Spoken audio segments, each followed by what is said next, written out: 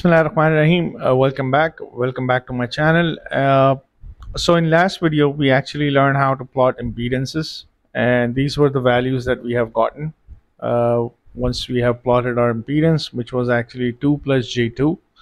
Now what we're going to learn, we're going to learn how to plot admittance. Okay, what are admittance? Admittance is nothing but an opposite of impedance. Impedance is something that is resisting while admittance something that is allowing my current and voltages to flow easily. So the best way to actually do it is quite easy. So how to find out an admittance of an impedance. So for example, in our last video, we calculated this. So we had a load that was 100 plus J100 we normalize it. Normalize means we divide that by 50 so we got the value 2 plus j2 so this was our uh, impedance.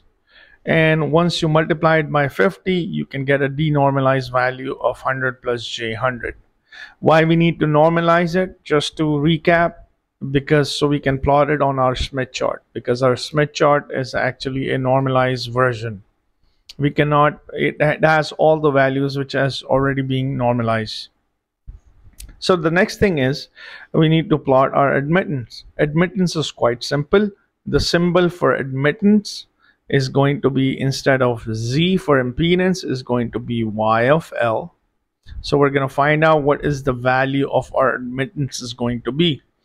So we know we know uh, from back then is 2 plus j2 and this is the line that was associated with my admittance. So the exactly the same thing we're going to do. We're going to take our ruler or our scale and we're going to draw a line from that center. Make sure the line is straight all the way. I hope it's straight all right? So what i'm going to do i'm going to take this from the center and make sure that this line is quite straight like this all right?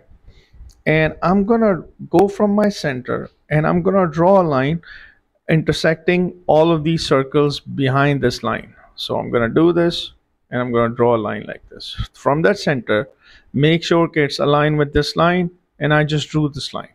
All right? Intersecting this outside of that circle. All right? So just simply drawing it. Because since admittance is an opposite of of of, uh, of your impedance and impedance is your opposite of your admittance. So it's just actually replicating the same line.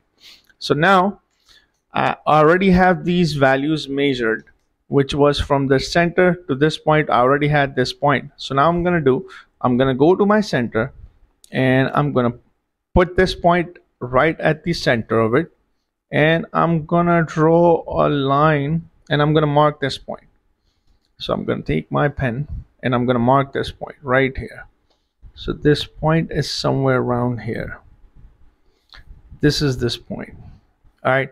So now it's just a matter of reading off this this point. What is this particular point is?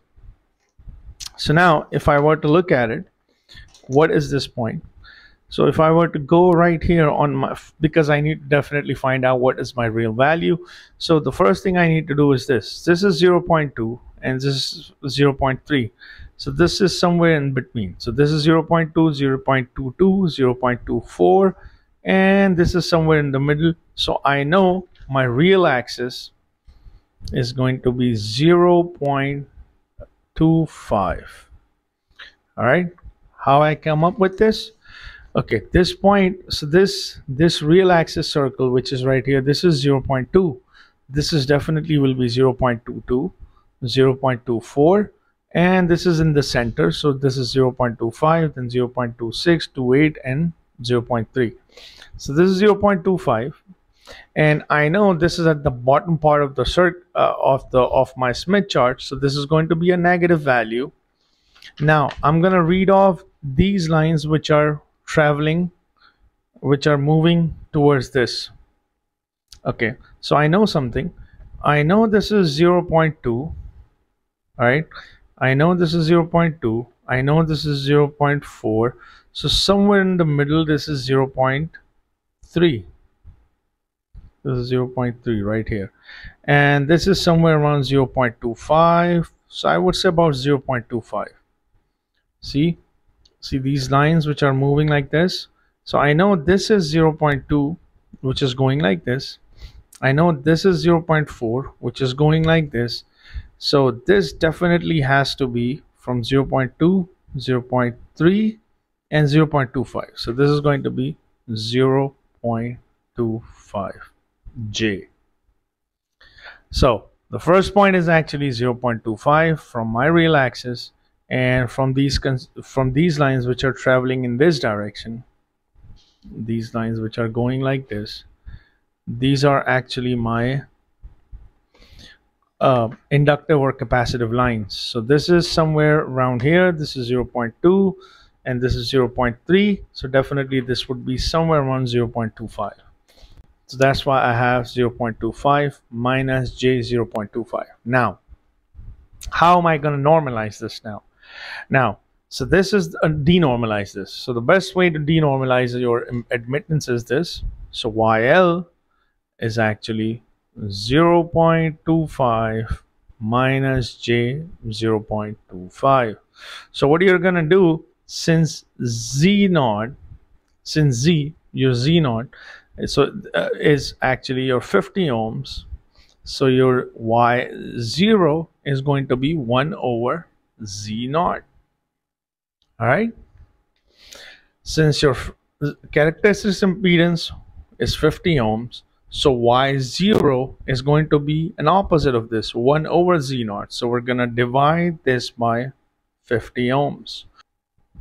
So once I picked up my YL which is actually 0.25 minus j 0.25 which was actually the value here in order for me to denormalize this I need to divide this by 1 over 50 and why do I need to do that? If my z naught is 50 then y naught which is admittance is actually inversely proportional to your characteristics impedance or any impedance. Admittance is inversely proportional to impedance.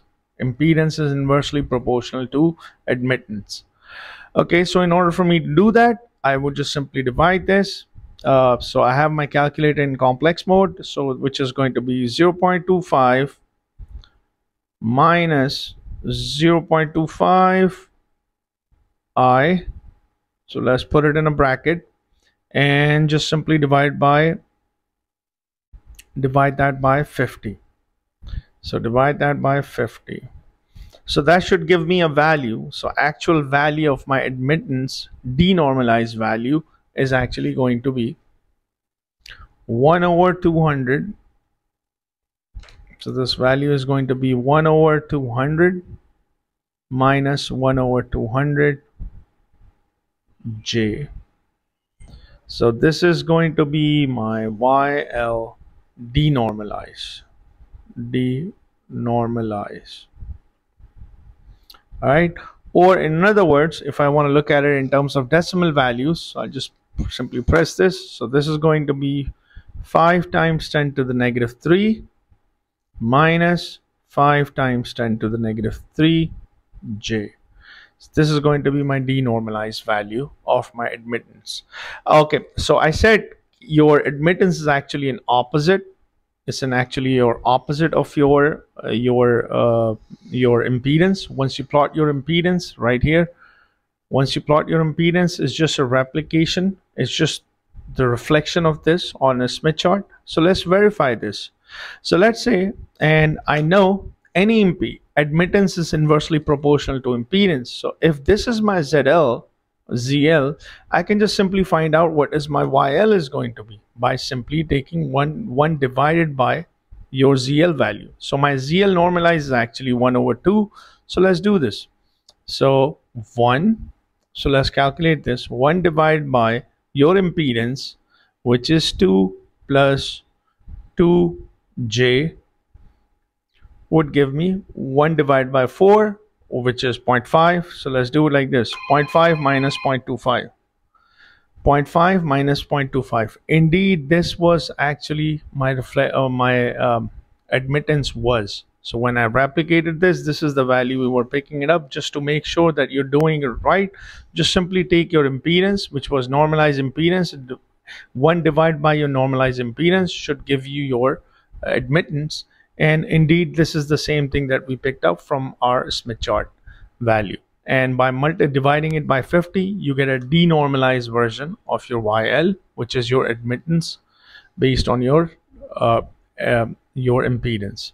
Exactly reflection coefficient transmission coefficient since the line distance is exactly the same you will pick up exactly the same values off from the bottom of this Smith chart so I hope you like this small tutorial on how to plot admittance. Uh, if you have any questions, please leave it in the comment section and don't forget to like and subscribe to my channel.